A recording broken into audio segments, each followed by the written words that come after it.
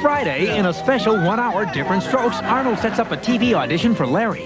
It was all my idea. It could mean a move to New York for the Alders, but Ruthie wants to stay put, and the battle is on. I don't want to live in New York. Oh, excuse me. Diff'rent Strokes. Then it's Jim and the girl from the camera commercial on the season premiere of The Rockford Files. Then Eischied. All right, let's get him now. The dramatic conclusion of Only the Pretty Girls Die. It all happens Friday on NBC.